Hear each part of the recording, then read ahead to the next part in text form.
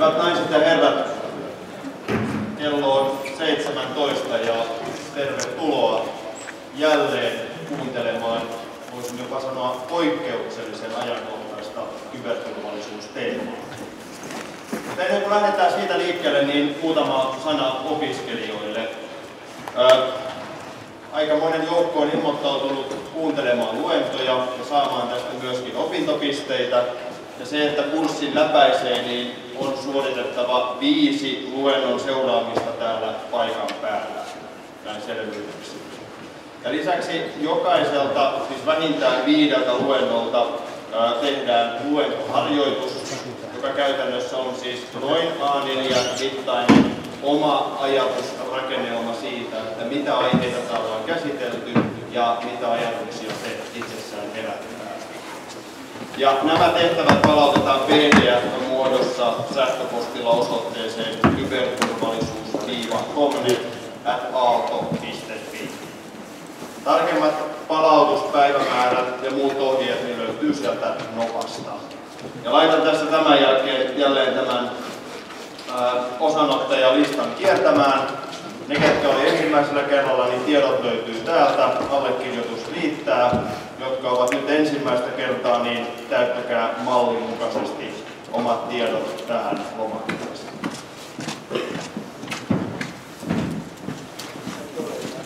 Täytyy sanoa, että kun aika tarkkaa kuukausi sitten avattiin tämä yleisluentosarja kyberturvallisuudesta, niin Muistan silloin sanoneeni, että puhutaan aiheessa, jossa tapahtuu paljon ja luultavasti jatkossa vieläkin enemmän.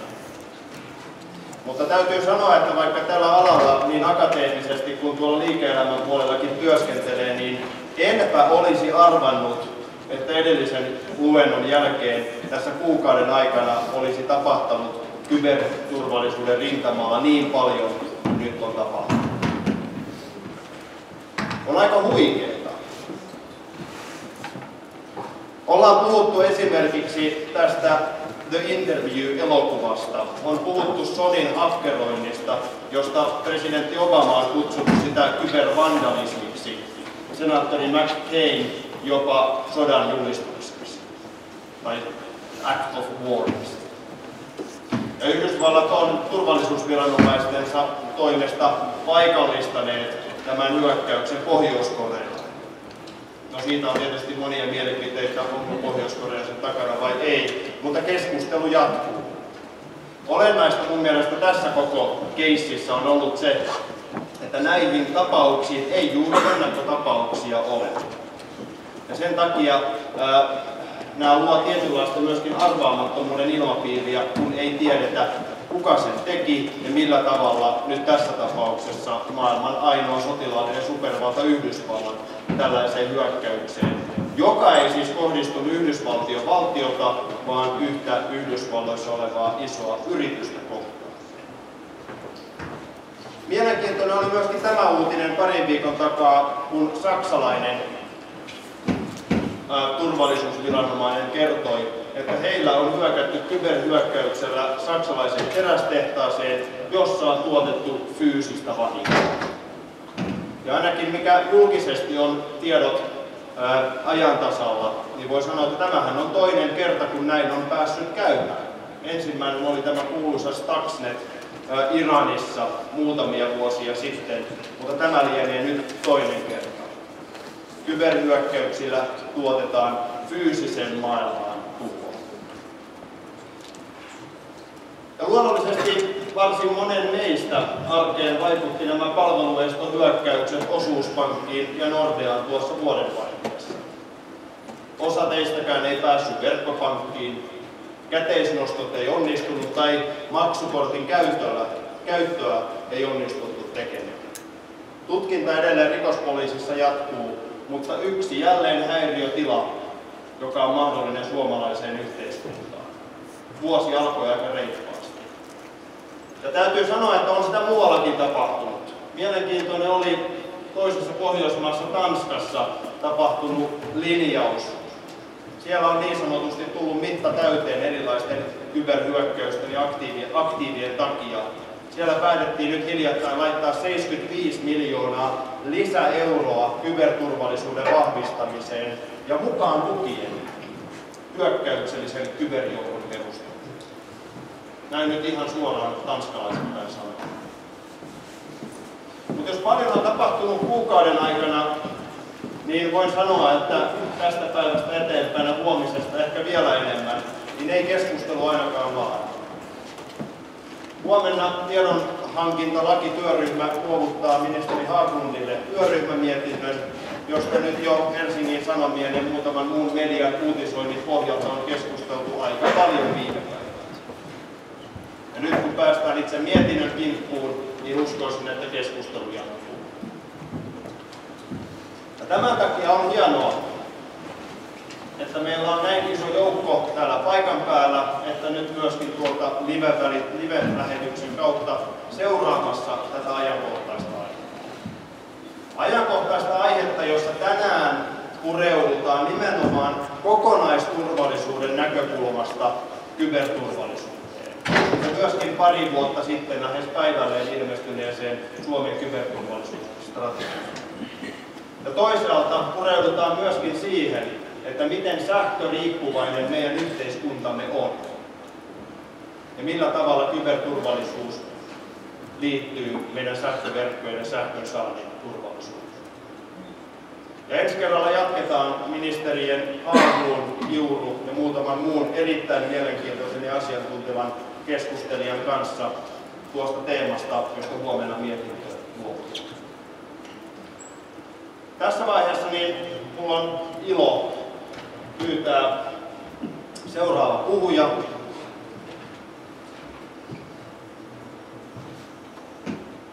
Ja kun me puhutaan suomalaisesta kokonaisturvallisuudesta ja kyberturvallisuuden asemasta siitä, niin enpä voi kuvitella soveliaampaa, asiantuntevampaa puhujaa kuin mitä seuraavaksi puhuu. Hän on turvallisuuskomitean puheenjohtaja, turvallisuuskomitea on siis Suomessa se instanssi, joka pitkälti koordinoi meidän kokonaisturvallisuutta. Vastaa esimerkiksi meidän yhteiskuntastrategian luomisesta, yhteiskuntaturvallisuuden strategian luomisesta ja keskeisesti myöskin koordinoi tämän vuonna 2013 tammikuussa julkaistun Suomen kyberturvallisuusstrategian. Hän on myöskin puolustusministeriössä kansliapäällikkö. Hän on Arto Räty. Tervetuloa.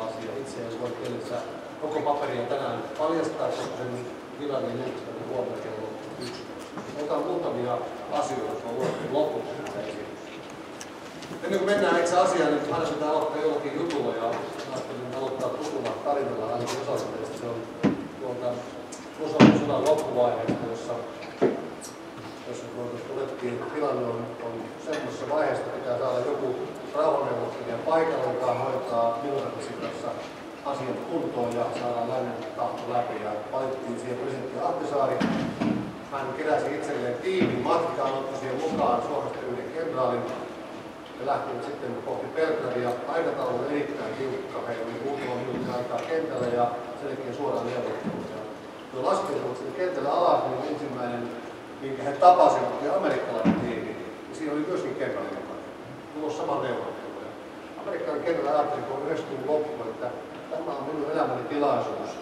Hän kipitti jokaisen suomalaisen kentsun luokse ja sanoi, että herra kentälle, että tiedän, että aikaa vähän, mutta koska te olette asiantuntija, kertokaa minulle lyhyesti yhdellä sanalla, mikä on tilanne tällä hetkellä Venäjällä. No, suomalainen mietti pari sekuntia ja vastasi kysymyksen mukaisesti yhdellä sanalla ja totesi good.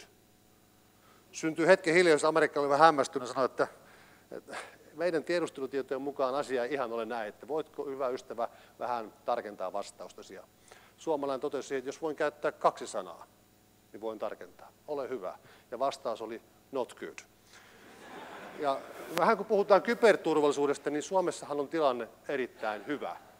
Jos ollaan pikkusen tarkempia, niin siellä alla on aika paljon asioita, joita meidän pitäisi hoitaa paremmin ja tehokkaammin. Ja siitä mä ajattelin teille puhua.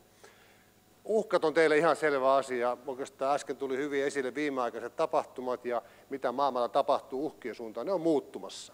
Ne muuttuvat koko ajan semmoisella vauhdilla, turha meidän koskaan kuvitella, että me ehdimme kirjoittaa strategian, joka vastaa varmasti tulevaisuuden uhkiin, vaan aina tulee uusia haasteita vastaan. Mä nostin tuosta pari asiaa esille ja ne ovat erityisesti teknologian kehitys, joka menee semmoista vauhtia eteenpäin, että meidän on pakko tavalla tai toisella kyetä juoksemaan tässä vauhdissa mukana ja miettimään ratkaisuja, jotka kestää aina vähän aikaa, mutta ne pitää uusia kohta. Toinen asia on, on globalisaatio. Se myöskin tulee muuttamaan tilannetta. Mutta se, mikä vaikuttaa ehkä minun alalla, puhutaan puolustuksesta ja kokonaisturvallisuudesta enemmän, niin on tuo keskinäisriippuvuus, joka on tullut vahvasti pöytään. Ja se on sellainen asia, jota väitän, että Suomessa ei oikein tänä päivänä ymmärretä.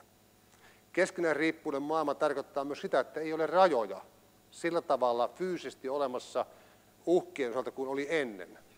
Ja yksi niistä rajat ylittävistä uhkista on tietysti kybermaailma ja kyberdomeenissa tapahtuva, tapahtuva toiminta, koska siinähän ei tunneta valtiorajoja.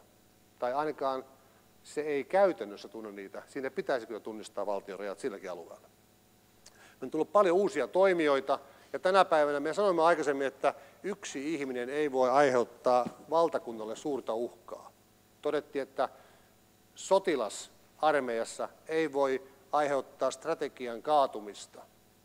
Mutta tänä päivänä yksittäinen ihminen, pieni ryhmä, saattaa aiheuttaa sellaisia suoritteita ja tapahtumia ja toimenpiteitä, joilla on globaaleja vaikutuksia, kuten nyt viimeksi Ranskan tapaus on.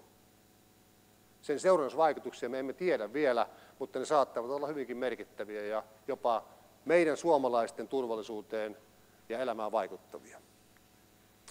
No, jos katsotaan ihan karkeasti lukuja, niin nämähän on teille tietysti tälle yleisölle enemmän tuttuja kuin minulle, mutta kyberrikollisuuden aiheuttamat tappiot, niitä arvioidaan eri summilla, mutta jos puhutaan kuitenkin, että ne ovat sillä sadoissa miljardeissa per vuosi dollareissa, puhutaan erittäin merkittävästä vaikutuksesta. Jos tuo raha voitaisiin käyttää kehitysapuun tai, tai johonkin muuhun tuottavaan toimintaan, niin sen vaikutus olisi aivan mieletön.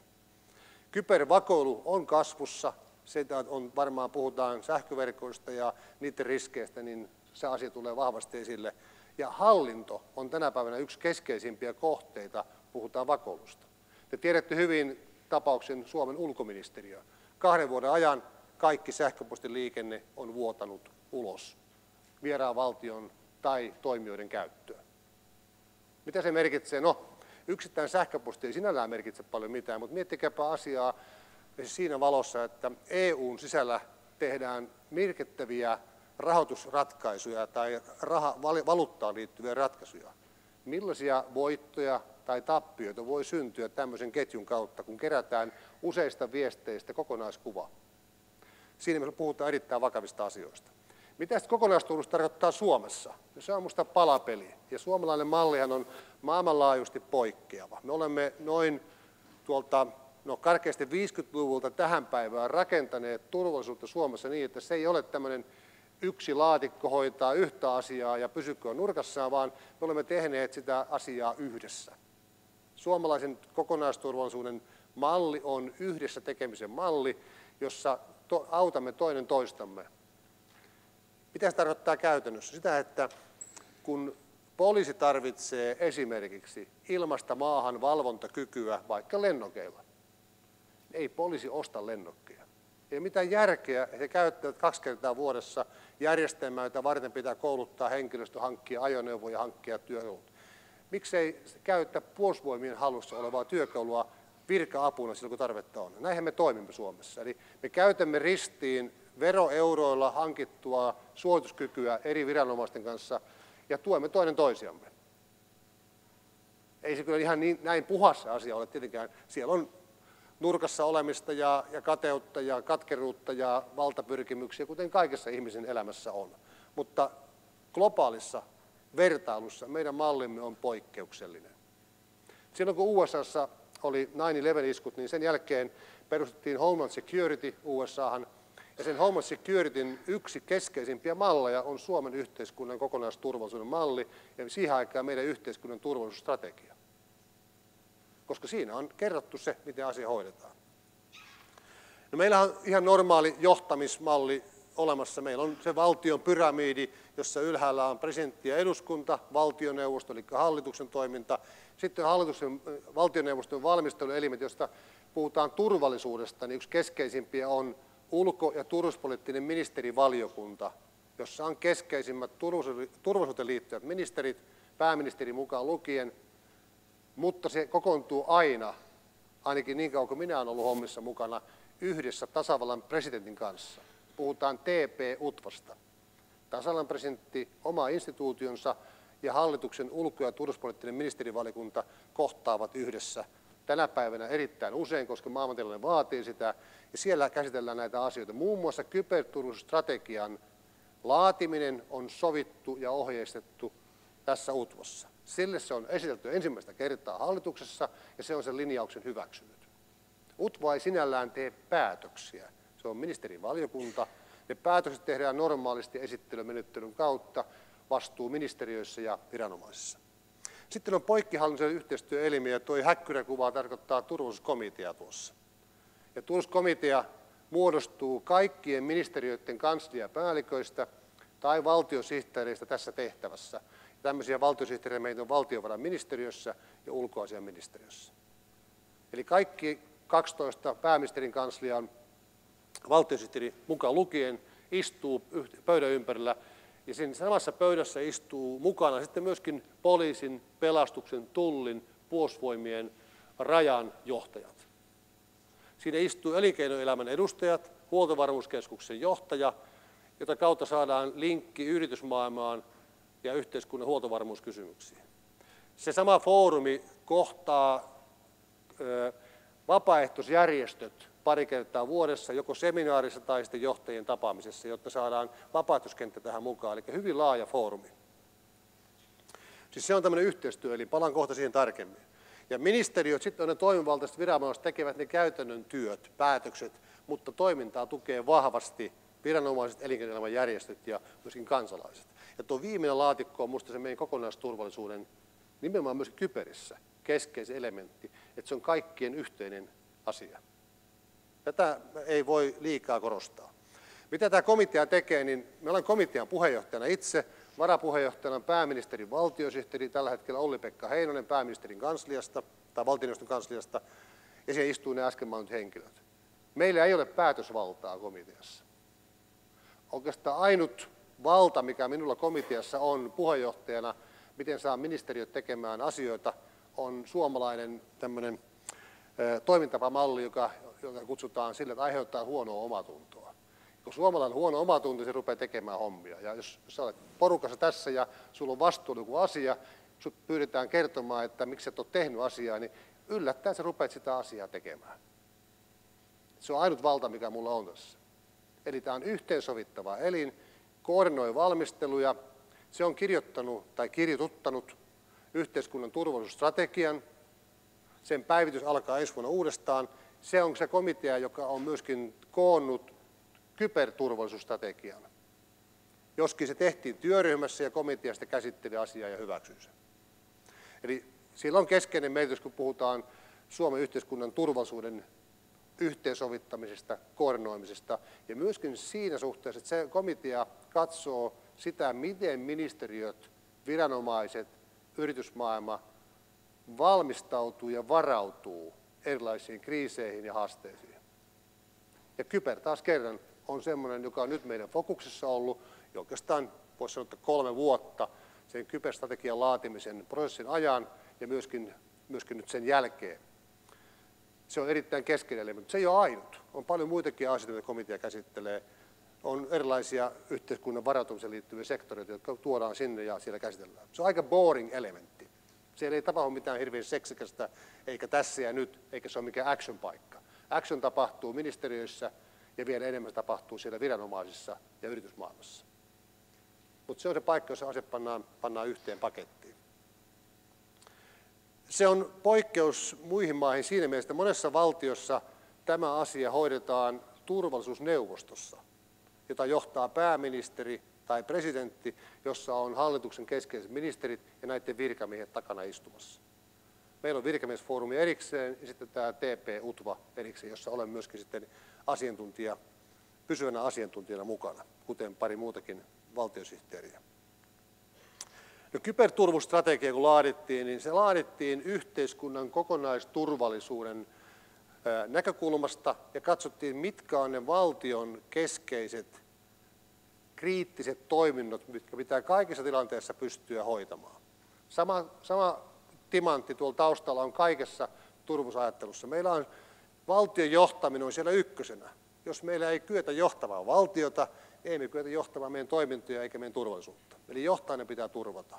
Henkinen kriisinkestävyys ei ehkä liity niinkään kyberiin, mutta silläkin on vaikutuksia tähän. Voidaan luoda uhkakuvia, pelottelua ja niin edelleen, joka vaikuttaa asiaan. Väestön toimeentulo, turva ja toimintakyky. Ymmärretty hyvin, että se on hyvin paljon kiinteissä kytköksissä kyberiin. Talouden ja infran kestävyys, siitä kohta kuullaan tuosta sähkön puolen asioista, de facto se on varmasti yksi keskeisimpiä asioita, kun puhutaan kyberistä. Sisäinen turvallisuus, puolustuskyky, no kyllähän puolustuskyky on kiinni kyberistä. Meillä on aika vähän nykyään kehittyneitä asejärjestelmiä ilma-, meri- ja maapuolustuksessa, johtamisessa, tiedustelussa, valvonnassa tai vaikuttamisessa, joilla ei olisi kytkentää jollain tavalla tieto, no ei välttämättä tietoverkkoihin, mutta ainakin lähialueen verkkoon ja sitä kautta useimmiten myöskin laajempaan verkkoon ja internettiin. Kansainvälinen toiminta on yksi keskeinen elementti. Ja visionahan on tuossa näkyy lue sitä ääneen, siinä on yksi oma haastossa visiossa. Silloin kirjoitettiin visio ja toivottiin, että Suomi tekee nopeita ratkaisuja ja dynaamisena ja pragmaattisena valtiona etenee lujaa vauhtia kohti maalia, ja se on vuonna 16 maailman yksi johtavista valtioista kyberturvallisuuden alueella. No, se jää nähtäväksi, meillä on vuosi aikaa. Että ei tässä ihan oikein, ollaan vähän kuin jäniksen selässä tässä mielessä, mutta katsotaan tilastoja tuon lopussa, niin huomataan kyllä, että mehän ollaan se jo nyt. Osaamisen osalta ja meidän verkkojen puhtauden osalta. Mutta kyberturvallisuuden osalta minusta me ei ole olla vielä lähelläkään sitä. Meitä puuttuu paljon siihen liittyviä elementtejä. No, nämä olivat kymmenen strategista linjausta, mitkä kirjattiin tuohon strategiaan. Strategiahan on parhaimmillaan silloin, kun se on mahdollisimman lyhyt. Ja meidän strategia on alle 10 sivua itse tekstinä. Sen päälle on sitten muisti, jossa on vähän tarkennettu asiaa. Mutta strategia on suppea. Ja tästä on meitä kovasti kiitetty. Olen puhumassa tästä aihepiiristä seuraavan kerran huomenna Genevessä ja ensi viikolla Lontoossa. Eli Suomen kyberturvallisuusstrategia, sen puristuksen takia saatiin se puristettu parissa vuodessa, vuosi taustatyötä, vuosi kiitostyötä suppeaan muotoon, etsimään keskeiset linjaukset, niin on, on maailmalla ihan hyvää valuuttaa tällä hetkellä. Se tuntuu ehkä käytännön toimijalta, joka verkossa pörrää, niin semmoista teorian hapatukselta, mutta se on paljon hyvää asiaa. Yhteistoimintamalli, se on se, mistä mä puhun teille alussa, on tälläkin hetkellä Suomessa vahvasti olemassa, mutta vaatii kyllä huoltoa ja korjausta ja päivitystä ja nimenomaan kansainvälinen yhteistyö. Kun tapasin ensimmäistä kertaa aikoinaan USAssa Washingtonissa heidän silloin juuri syntymässä olevan kyberstrategian pääkirjoittajan, kybersaarin USAssa, niin, niin, niin kyllä hän katsotaan, että yhteistoimintamalli oli jopa USAlle yksi keskeisimpiä työkaluja. Ei edes supervalta nimeltä USA pärjää tällä sektorilla yksin. Toinen, minkä nostin täällä esille, joka liittyy tähän saliin aika pitkälle, on tuo kohta seitsemän, osaaminen eli koulutus. Ja siinähän meillä Suomessa on vahva, vahva alue, koska me uskomme koulutuksen voimaan ja osaamisen kehittämisen voimaan.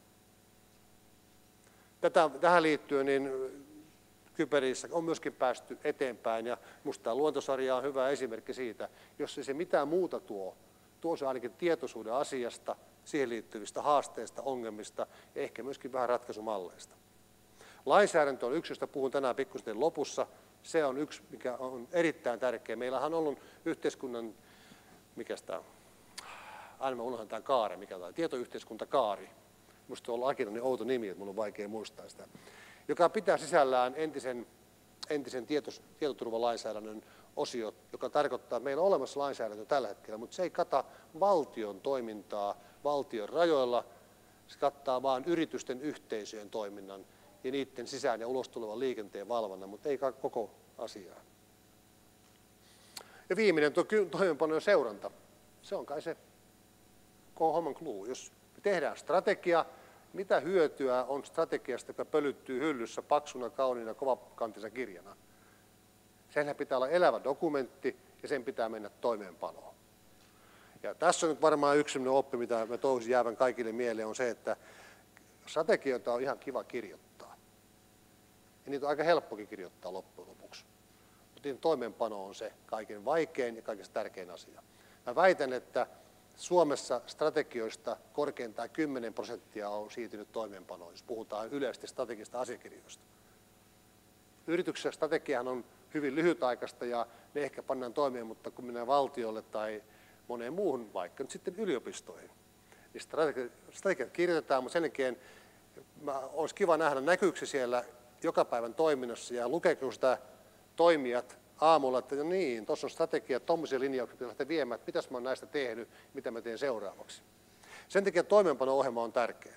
Meillä on hyvä backup, myöskin tasavallan presidentti on ottanut tämän eduskunnan valtiopäivän avaajassa 4. helmikuuta 14, hän otti tämän asian esille, joka on sinänsä aika uutta. Tasavallan presidentti eduskunnassa valtiopäivän avaajasta yhteydessä ottaa kyberturvallisuuden näin vahvasti esille, kuten hän se otti. Se on merkki siitä, että myöskin valtioneuvosto, anteeksi, valtion poliittinen johto on asian nähnyt tärkeäksi. No, meillä on roadmap. Meillä on strategia, joka on syntynyt parin vuoden työn tuloksena.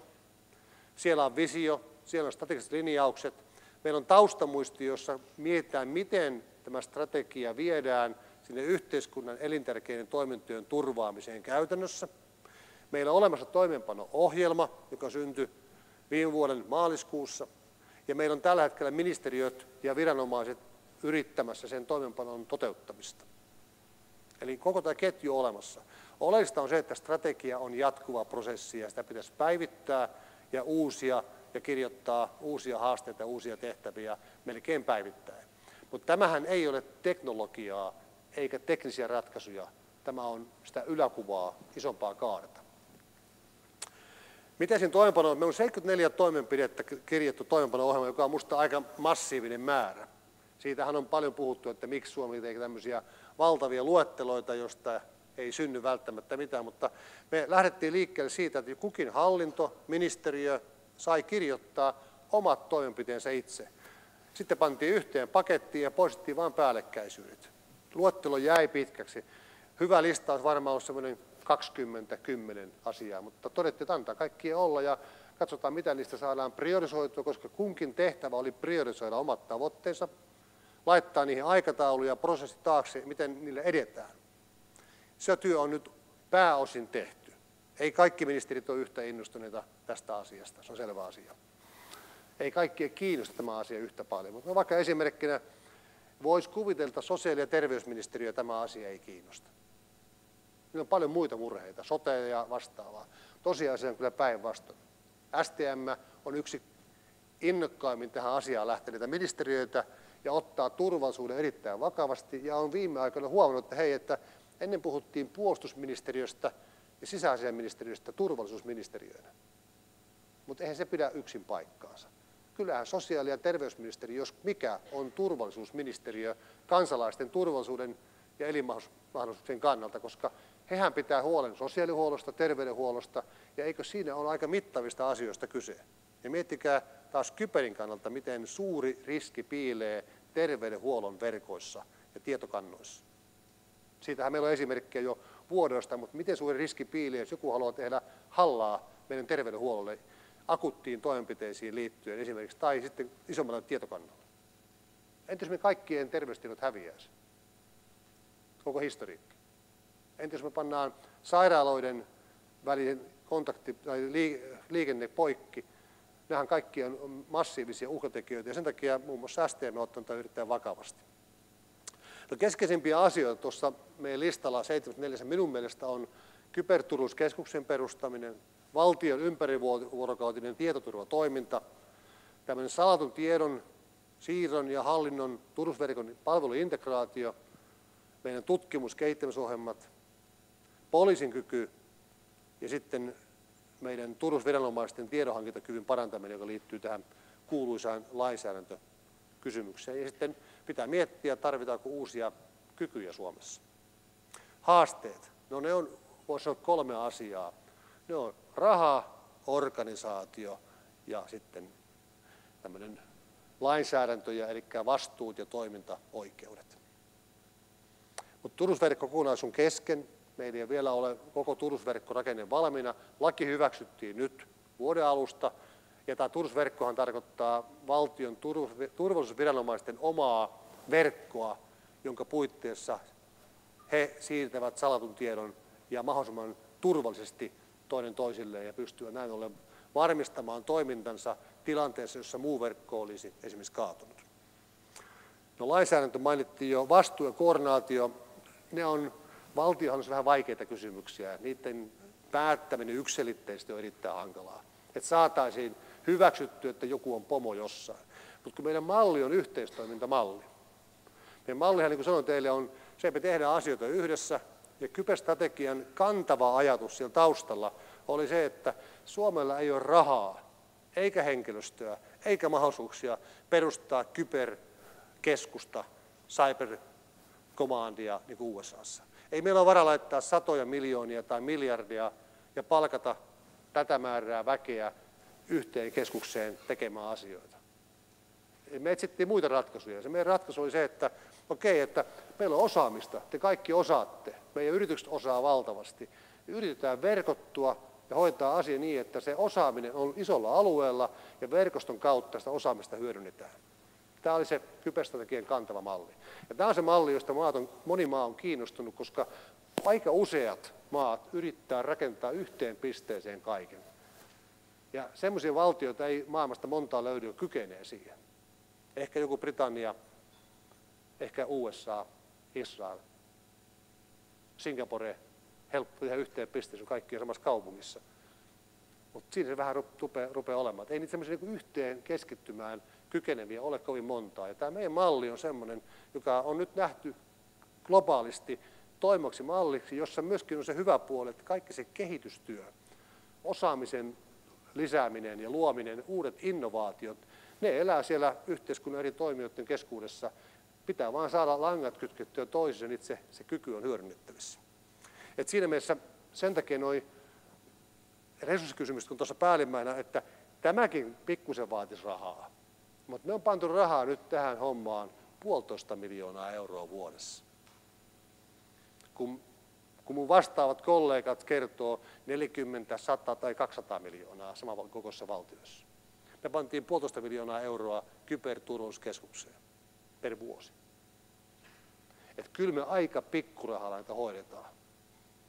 Et siinä mielessä tämä resurssipuoli on erittäin kova haaste Suomessa.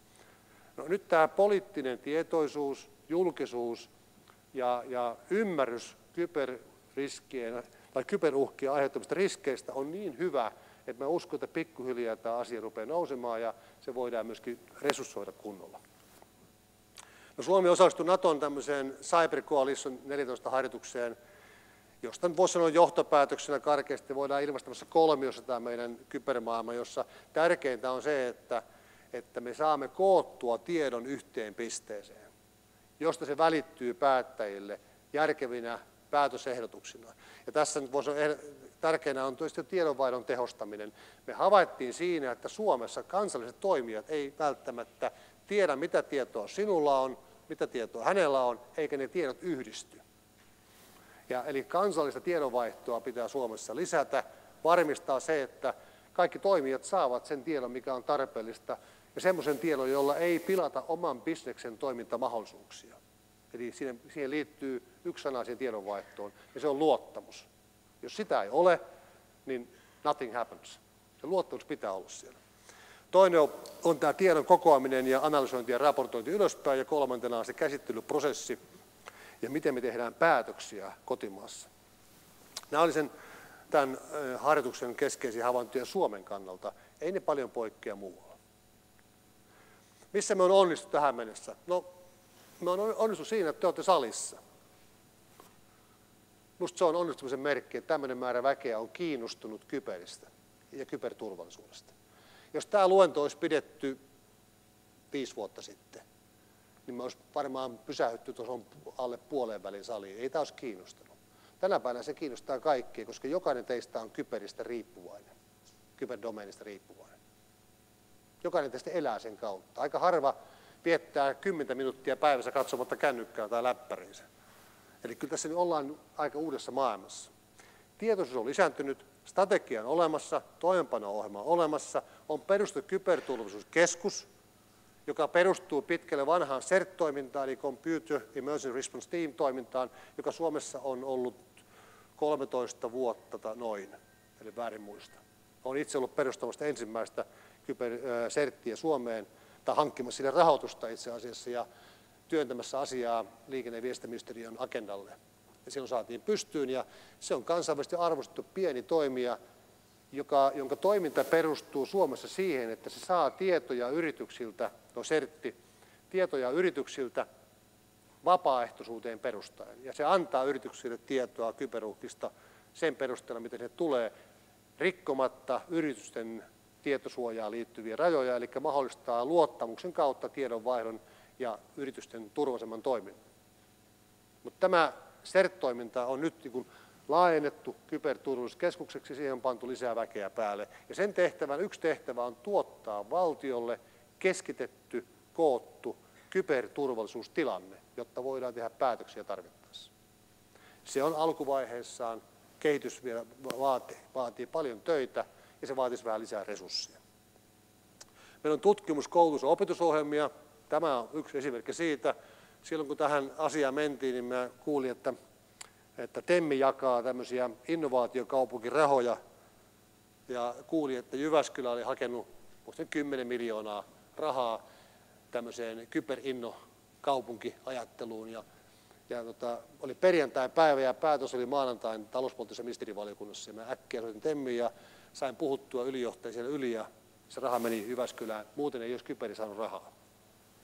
Mutta nämä tapahtuu niin kädestä suuhun siinä vaiheessa, että oltiin alkutekijöissä. Ja nyt meillä on syntynyt hyvä verkosto kotimaahan ja useat yliopistot ottaneet tämän kovasti agendalleen, ammattikorkeakoulut myöskin, ja siihen liittyy viranomaistoiminta, erityisesti puolustusvoimien toiminta vahvasti mukaan ja poliisin toiminta. Meillä on yritysklusteri FISK, Finnish Information Security Cluster, joka on yritysten yhteenliittymä, joka on perustanut oman laboratorionsa VTTn kanssa – joka pyrkii luomaan lisää bisnesmahdollisuuksia tällä alueella, koska kyberissä on kaksi puolta meille, Suomelle. Yksi, miten me suojaamme itsemme ja mahdollistamme teidän kansalaisten, yritysten ja viranomaisten toiminnan, mutta toinen puoli on se, että sehän tarjoaa suomalaiselle osaamiselle mahdollisuuksia luoda bisnestä maailmalle ja myydä sitä eteenpäin sitä osaamista. Itse kun olen ollut viemässä tai auttamassa puolustus- ja turvallisuusteollisuuden vientiponnisteluja ulkomaille ja huomannut, että aika mukavaa on olla viemässä pieniä suomalaisia yrityksiä eteenpäin, joilla on ihan superluokan tuotteita. Aika, ei täällä ole yhtään keikkaa tehty, mistä ei ole syntynyt yhtään diiliä näille. Ja ne on pieniä, pienehköjä tai keskisuuria yrityksiä ja saaneet loistavan vastaaton maailmalle. No, tuota, prosessien kehittäminen poikkeamahallinnassa No kyllä, on se kehittynyt, mutta vielä siinä vähän olisi töitä. Toi eri toimijoiden yhteistyö, silloin kun tämä asiat tuli, ensimmäisen kertaa CERT kävi puhumassa siihen aikaan tunnuskomiteassa, niin mä kysyin, että, että millaiset yhteyshenkilöt teillä on ministeriöissä. Ja selvisi, että 12 ministeriöstä taisi neljällä tai viidellä olla yhteyshenkilö nimettynä serttiin. Eli yhteistoiminta ei ollut. Nyt se on. Eli kyllä tässä on tapahtunut silläkin puolella paljon. Tämä public-private partnership-ajattelu, se on kehittynyt eteenpäin ja kansainvälinen yhteistyö ja verkottuminen on tällä hetkellä minusta erittäin hyvässä, hyvässä tilanteessa. Siihen palaan vielä erikseen kohta. No sitten voisi sanoa, että kun puhutaan näistä meidän, niin ensimmä, turvallisuuden ensimmäinen tasohan meillä on tämä Internet, Internet Service Providers, anteeksi, minulla on jäänyt englanninkielinen otsikko tuonne ylös vielä näköjään näihin slaideihin, mutta tarkoittaa siis meidän teleyrityksiä. Niiden toimenpiteet on hyviä ja ne pystyy tekemään tällä hetkellä erittäin paljon meillä. Hyvää työtä ja kovaa osaamista löytyy yrityksiltä ja siitä voisi sanoa, että siitähän meillä on seurauksena, meillä on maan puhtaat verkot tällä hetkellä, ainakin Microsoftin analyysien perusteella. Pari vuotta oltu ykkönen tai kakkonen. Eli siinä mielessä tilanne on, on, on hyvä. Jos sitten tulee semmoisia, mitkä menee läpi, edistyneitä kyberhyökkäyksiä, meillä on sitten viestintäviraston kautta, meillä on havarojärjestelmä, joka pystyy tunnistamaan tiettyjä keskeisimpiä tämmöisiä edistyneitä hyökkäyksiä ja varoittamaan järjestelmää siitä. Ja sitten meillä on sen alla vielä tämä meidän vahva kenttä, eli kansalaiset, viranomaiset yritykset, jotka jokainen on turvallisuustoimija. Tässä kentässä ei voi laittaa mitään tärkeysjärjestykseen, vaan yksittäinen iPadin käyttäjä saattaa olla yhtä tärkeä kuin joku iso yritys. Et siinä mielessä jokaisen pitää ottaa tämä asia vakavasti. Miksi me ollaan menestytty? Sen takia, meillä on tämä kokonaisvaltainen konsepti, meillä on verkostotoimintamalli, me ollaan kustannustehokkaita, meillä on yhteinen ymmärrys asiasta, no ei kaikesta, mutta yhteinen ymmärrys ja teknologiaosaaminen. Viimeinen on erittäin tärkeä.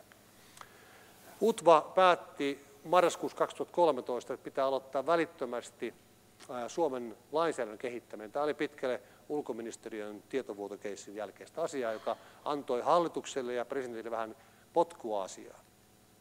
Me pantiin työryhmä pystyyn, puolustusministeri laittoi pystyyn, poikkihallinnon työryhmä, joka on istunut yhdessä vuoden aikana 48 kertaa.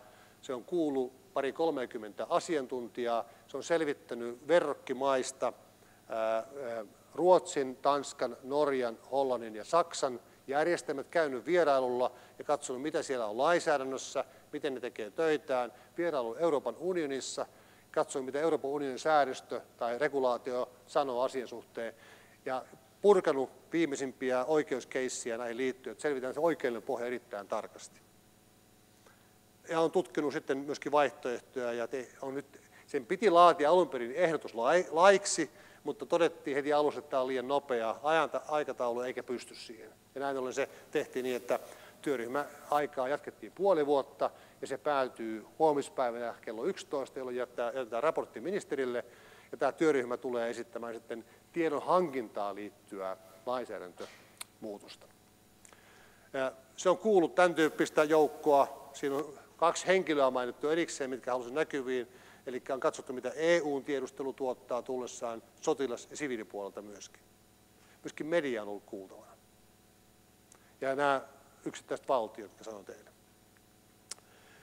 Havaintoja kansainvälistä vertailusta, miten se voisi vetää, niin se, että, että jos minä että missään valtiossa ei meidän näkemyksen mukaan ole täydellistä järjestelmää olemassa. Kaikkien lainsäädäntö on erilaista, toimintamallit on erilaisia ja ne, ne, to, ne prosessit, prosessitkin ovat hieman erilaisia. Mutta kaikista löytyy hyvää ja kaikista löytyy myöskin varoittavia esimerkkejä. Näin ollen on pyritty vetämään nämä yhteen ja hyödyntämään se omassa lainsäädäntötyössä. Tiedustelu Suomessa. Meillä ei ole mitään lainsäädäntöä tällä hetkellä, joka kattaa tiedustelua. Sotilaat on tehnyt tiedustelun niin kauan on ollut olemassa Suomessa, mutta ainut pykälä, joka, jollain, tai ainut kohta laki puolustusvoimista, joka sisältää tiedusteluelementin, on perustelumuistio lakitekstille, jossa lukee, että puolustusvoimien pitää tuottaa ennakkovaroitus uhkista valtionjohdon käyttöön. Mitään sanaa ja tiedustelusta ei ole, että mitä sillä saa tehdä, mitä ei saa tehdä. Eli me tarvitsemme siis tiedustelulainsäädännön Suomeen tavalla tai toisella, kattaa sotilaita siviilit, sitten on erikseen kahottaa tähän verkkopuoleen, mitä siellä pitäisi tehdä. No, keskeisiä havaintoja, mitä me pitää ottaa huomioon tässä prosessissa, on otettu, että lainsäädäntö pitää olla erittäin tarkasti määriteltyä. Yksittäisen ihmisen perusoikeudet, yksilön lainsuoja, viestinnän luottamuksellisuus, yritysten toimintamahdollisuudet, nämä pitää turvata kaikissa tilanteissa. Meillä ei ole missään tilanteessa halua eikä tarvetta mennä kansalaisten sähköpostin viesteihin eikä yritysten sähköpostin viesteihin. Meillä ei ole missään vaiheessa halua eikä tarvetta mennä massatallennukseen ja massavalvontaan. Nämä on niin poissuljettuja asioita jo alkuperin, alun perin. Meidän pitää olla tarkka luvan myöntämisprosessi, seuranta ja valvonta, jos me luodaan jotain lainsäädäntöä. Tässä pitää ymmärtää niin sotilaspuolelta vaikka tuo asia. Niin asia tässä näkyy, että ennen vanhaa meillä oli, meillä oli tota, analoginen maailma, ja me nähtiin kaikki ja kuultiin kaikki periaatteessa. Tänä päivänä se analoginen maailma on piiloutuneena tuonne digitaalisen maailman sisälle, ja me ei nähdä enää kuin murto-osa siitä. Ja meidän tiedostelu ei kykene tänä päivänä hakemaan radiosignaalin kautta tietoa, vaan pitää mennä verkkoon. Näin tekee kaikki valtiot. Ja jos me halutaan ennakkovaroitus antaa, meidän pitää siihen pystyä. Mitä tämä lainsäädäntö kehittämistarpeita on, niin jos tuossa on nämä tiedustelun eri lajit näkyvissä, niin toi henkilötiedustelu, Suomi ei tee tällä kyllä henkilötiedustelua, SUPO tai suojelupoliisi tai puolustusvoimat ei tee sitä, se on yksi osa, mitä pitää käsitellä. Tietoverkkotiedustelu, joka jakaantuu kahteen eri osaan, eli tietojärjestelmätiedusteluun, eli tunkeutumiseen tietojärjestelmään, sieltä tiedon hakemiseen jossakin rajojen ulkopuolella, koska kotimaassa me emme sitä halua, emmekä saa tehdä missään tapauksessa. Ja toinen on tietoliikennetiedustelu, josta joku haluaa käyttää sanaa verkkovalvonta. En käyttäisi, koska puhutaan tiedustelutoimenpiteestä. Ja tietoliikennetiedustelu tarkoittaa käytännössä sitä, että etsitään Suomeen tulevasta ja Suomeen lähtevästä kaapelista tietyillä hakuehdoilla niitä tekijöitä, jotka ovat tunnistettavissa kansallisiksi riskeiksi ja uhkatekijöiksi. Ja niihin yksittäisiin tietoihin halutaan mennä sisälle. Silloin pitää olla viranomainen tarkka määrittely siitä, miten se tallennetaan ja miten siihen mennään sisälle, jos mennään. Ja jos mentäisiin yksilötasolle, niin se tarkoittaa, että silloin pitää olla yksilöyhteydessä, kuten jo tieto tai nykyinen lainsäädäntökin edellyttäisi. Automaattinen hakuehdolla, ei manuaalista, koska siihen meille mahdollisuutta. Ja tietojärjestelmä on siis se, että me tunkeuduttaisiin sitten yksittäiseen tietokoneeseen tiedustelemaan rajojen ulkopuolella. Suomi on ainut maa vertailumaista, jolla ei ole tiedustelulainsäädäntöä. Ja kyllä mä itse katson myöskin tunnuskomitean puheenjohtaja, että meillä pitää olla semmoinen lainsäädäntö olemassa, joka antaa perusteet ja mahdollisuudet valtiolle hoitaa turvallisuus parhaalla mahdollisella tavalla. Kuitenkin pitää aina huoli yksilösuojasta, tietosuojasta, kansalaisten perusoikeuksista ja yritysten toimintamahdollisuuksista. Ja Suomessa on hyvä lainsäädäntöperiaate ja kulttuuri, ja mä uskon, että me pystyttäisiin tekemään sellainen lainsäädäntö, joka mahdollistaa toiminnan rikkomatta niitä periaatteita, ottamalla huomioon se, mitä ongelmia on maailmalla ollut tällä sektorilla. Ja voi olla, että tämä on pitkä prosessi, ja uskon, että se on pitkä prosessi. Tällä hallituskaudella jätetään raportti. Seuraava hallituksen pitäisi miettiä, että mitä näistä osioista, mitä työryhmä tulee esittämään, tullaan laittamaan tuonne seuraavan hallituksen toimintaohjelmaan ja mitä ne tullaan viemään sitten lainsäädäntönä eteenpäin. Tässä puhutaan vuosien prosessista ja voi olla, että kaikkia ei saa seuraavan hallituskaudella tehtyä, vaan se menee vielä yhden kauden eteenpäin. Nämä kestää pitkään. No Ruotsista on hyvä esimerkki tämä juuri viimeinen uutinen Aftonbladista, tämä, jos todettiin, että, että FRA, eli Ruotsin radiotiedustelu, on tuottanut sellaista tietoa Ruotsin suojelupoliisille, jolla on kyetty konkreettisesti estämään ainakin kaksi selvää terroristihyökkäystä Ruotsissa. En minä usko, että Suomi on semmoinen onnella, jossa nämä asiat ei koskaan voisi tapahtua. Eli kyllä meidän täytyy pitää huoli siitä, että me voimme maksimaalisesti taata kansalaisen turvallisuuden kuitenkin rikkomatta niitä periaatteita, mikä mainitsin. Kiitoksia.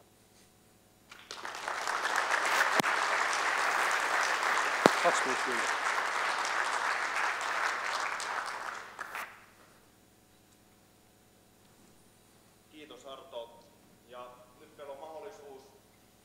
Luvannut vastata kysymyksiin ennen kuin siirrytään sähköverkkojen pariin.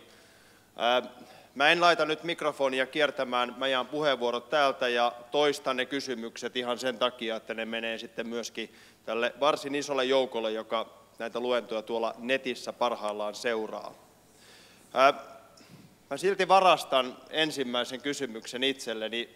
Kaikessa yksinkertaisuudessaan ja oikeastaan vaikeudessaan tuo, mitä äsken sanoit huomenna julkistettavasta mietinnöstä, niin kuulostaa hyvin loogiselta. Niin mistä tässä sitten oikeastaan kiistellään? No jos luette Hesaria ja katsotte uutisia, niin kiistellään käytännössä. Yksi, siis kaikki on lähestulkoon yksimielisiä siitä, että Suomi tarvitsee tiedustelulainsäädännön ja meidän pitää pystyä antamaan valtiolle ennakkovaroitukset. Eli tiedustelusana on ok. Mutta sitten tämä kaapeliin kytkeytyminen ja sieltä uhkiin, uhkiin liittyvien elementtien hakeminen on se, joka tuntuu olevan ylitse pääsemätön tällä hetkellä osalle väestä.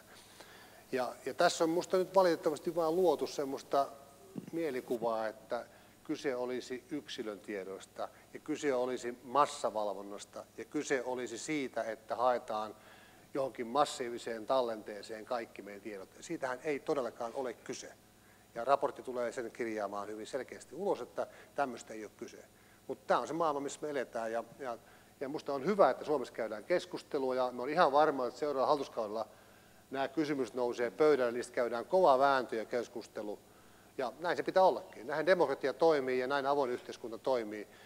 Se, että eriävät mielipiteet on nyt jaettu etukäteen ennen kuin raportti jaettu, se on vähän mielenkiintoinen keissi meille, koska oli sovittu, että raportti annetaan kootusti ministerille ja siinä on mukana eriävät mielipiteet ja tutkimukset.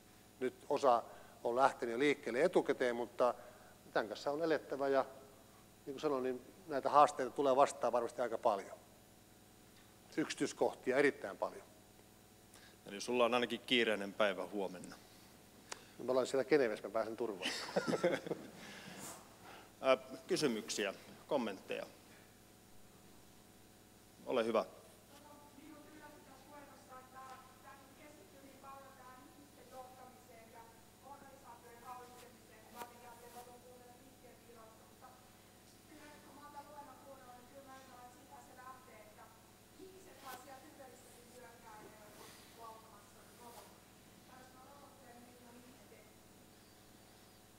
Se oli oikeastaan enemmän kommentti, mä, mä olen ihan samaa mieltä sun kanssa, näin se on, että jos meille ei, tämä on se strategisen ajattelun musta clue-asia, jos meillä ei ole strategiaa, eikä meillä ole sitä punaista lankaa olemassa, niin ei näitä toimenpiteistä ole mitään hyötyä.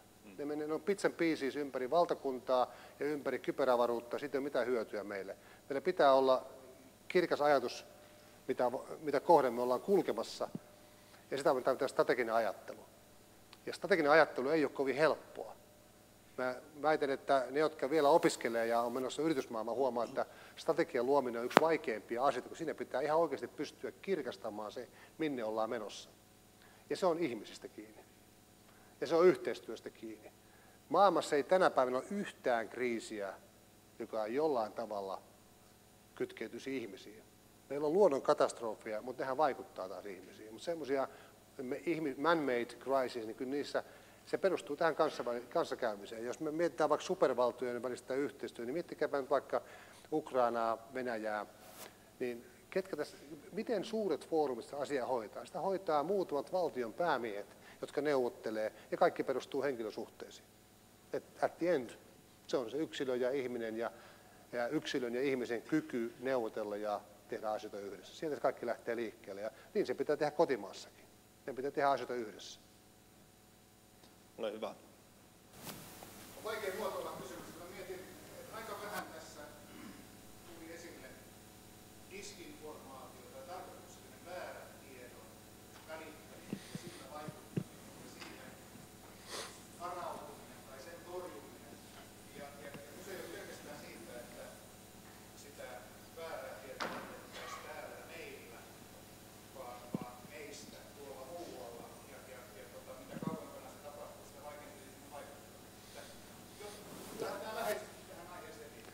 Se liittyy sillä tavalla tähän aiheeseen, että, että kyberin, kybermaailmassa olevia kykyjä käytetään disinformaation levittämiseen ja, ja sen niin kuin äh, moninkertaistamiseen. Mutta se ei ole suoraan kyberturvallisuutta, koska ei, ei me etsitä keinoja, millä voidaan pysäyttää median toiminta tai somen toiminta. Sitähän me emme tee. Me etsitään niitä haittaohjelmia ja hyökkäyksiä, joita vastaan meidän pitää pystyä puolustautumaan ja meidän pitää pystyä torjumaan tai poistamaan. tai niiden haittavaikutukset minimoimaan.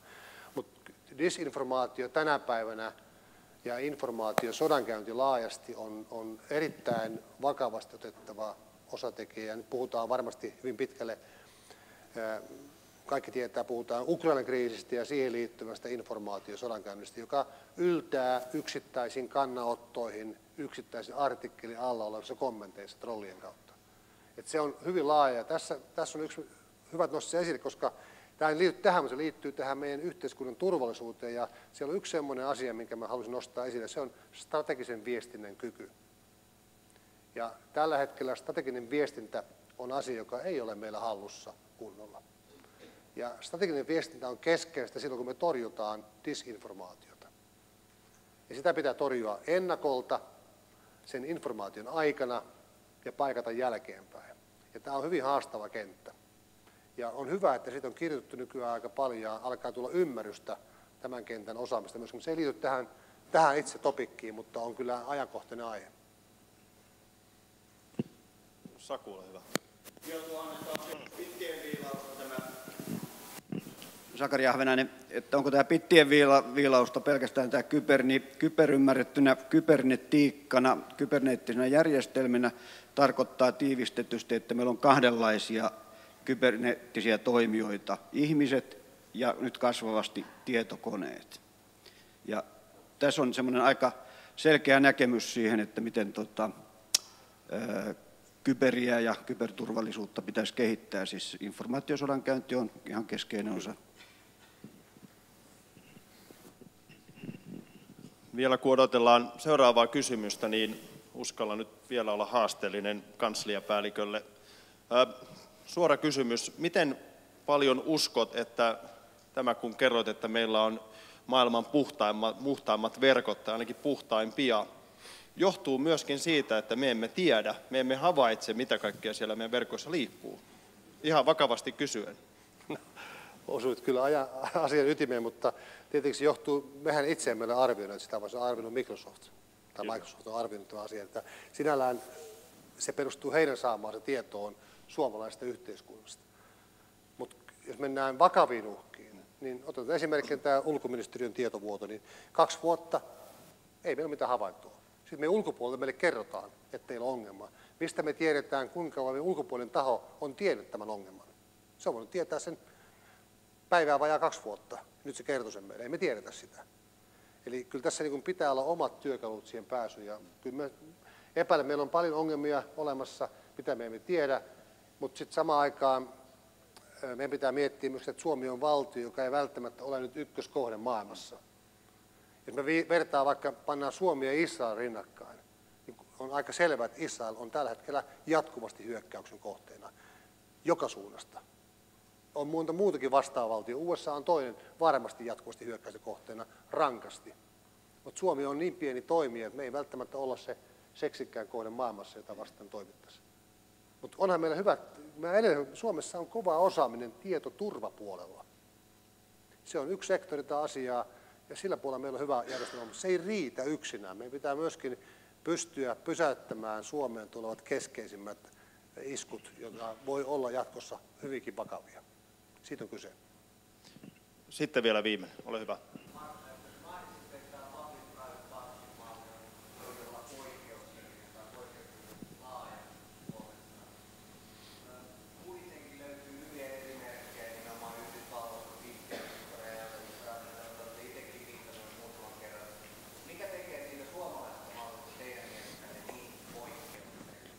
No yksi sana, vapaaehtoisuus. Eli USAssa hyvin pitkälle se perustuu lainsäädäntöön ja nyt viime aikoina syntyneisiin lakeihin, jossa pakotetaan keskeisimmät yritykset yhteistyöhön. Israelissa se on varmaan syntynyt luonteesta tarpeesta, koska se valtiohan on rakennettu tänä päivänä niin kuin turvallisuuskoneistoksi. Sitä ei voi verrata meihin. Ja Suomessa kaikki perustunut tähän mennessä ja perustuu edelleenkin hyvin pitkälle vapaaehtoisuuteen ja haluun tehdä yhdessä asioita. Ja siinä mielessä tämä on iso pointti meillä, että tällä puolella me saadaan järjestelyjä, jota moni muu kaipaisi ja ei kykene tekemään.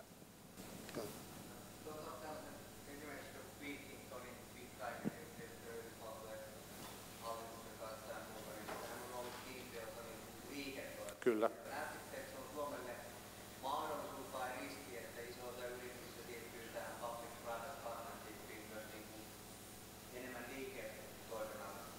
En, en mä näe sitä riskinä, koska miten se yritys muuten voisi toimia. Nehän lähtökohtaisesti on liikeyrityksiä, joiden pitää tuottaa. Että näin se pitää olla. Mutta meillä on vaan edelleen hyvä systeemi olemassa ja kun tämä yhteistyö Suomessa, mä aina ennen puhuin muista sektoreista yhteiskunnassa, mutta en tästä. Ja muualla se on ollut koko ajan olemassa, tämä yhteistyöhalukkuus. Mutta kyllä siinäkin ongelma tulee olemaan, että, että ongelma on siinä, että kuinka halukkaita suomalaiset yritykset ovat luovuttamaan tietoja yhteiseen käyttöön. Missä kulkee raja sen kanssa, että kun mä luovutan tämän tiedon, niin mä osoitan omia heikkouksiani ja, ja missä on omia bisnesmahdollisuuksia. Ja tässä on iso haastava, haastava osa-alue. Miten tämä hanskataan jatkossa? Voi olla, että jonain päivänä mekin vaadimme lainsäädäntöä, joka pakottaa tietojen antamiseen tietyissä tilanteessa. Operaattorit on asia erikseen, niin ne on reguloitumpia kuin muut yritykset. Kiitos Arto Räty.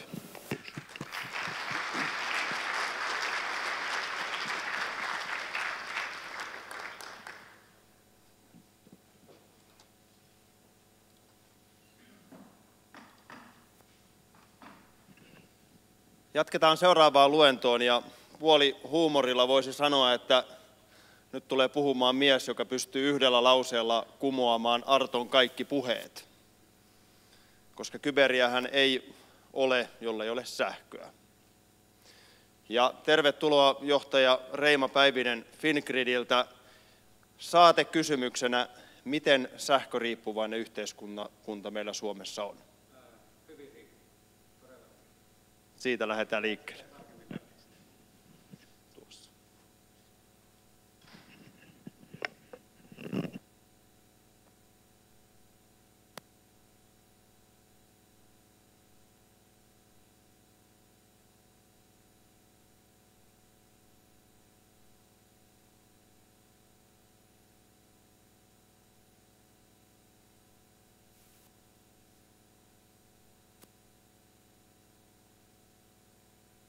Kuuluuko nyt?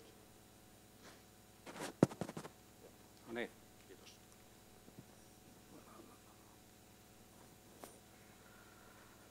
Vastaan tosiaan päivittäisestä käyttötoiminnasta. Sen lisäksi on mukana tässä Public-Private Partnership-kuviossa sillä tavalla, että olen voimatalouspoolin puheenjohtaja. Voimatalouspooli on sellainen hyvin pitkälti vapaaehtoisuuteen perustuva organisaatio, jossa on paljon eri viranomaisia ja sitten energia-alan yrityksiä sähkö- ja kaukolämmön puolella. Ja täytyy sanoa, että se toimii hyvin aktiivisesti ja aina kun suunnitellaan harjoituksia tai, tai pidetään kokouksia, niin väki on, on erittäin hyvin mukana siinä. Että kyllä, tämä, kyllä tämä mekanismi Suomessa vaan, vaan on osoittanut toimivuutensa. Voimatalouspooli täyttää kohta 60 vuotta, että se on, on toiminut myös niin kuin hyvin pitkään tämä mekanismi. Kuka on viime aikoina kokenut vähintään vuorokauden sähkökatkoksen, ollut siis ilman verkkosähköä vuorokauden?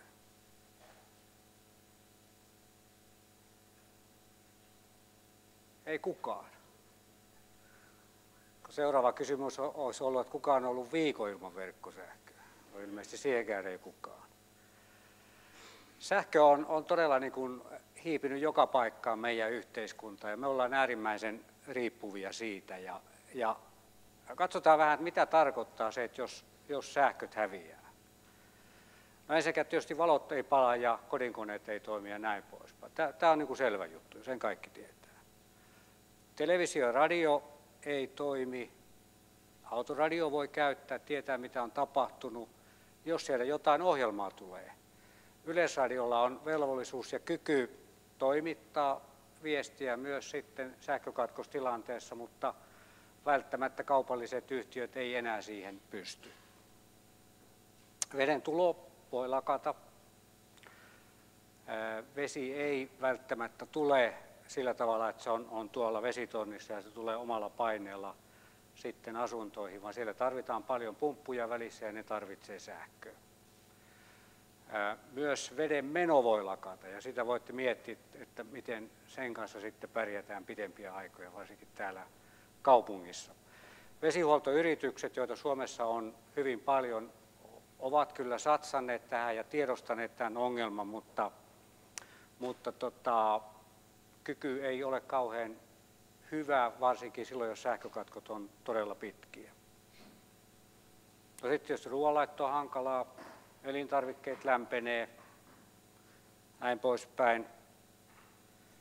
Internet toimii, jos tietokoneeseen tulee sähköä, läppärillä pärjää sen verran, kun on akussa virtaa. Ja jos tietoliikenne toimii, puhelimet toimii jonkin aikaa. Kännykkäverkot rupeaa hiipumaan tuossa varmaan kolmen tunnin kieppeissä. Viranomaisten virveverkko kestää jonkin verran pitempään, mutta ei sekään kovin pitkään. Miten sitten pidetään yhteyttä? Rakennusten lämmitys ei toimi, sähkölämmitys ei tietenkään toimi.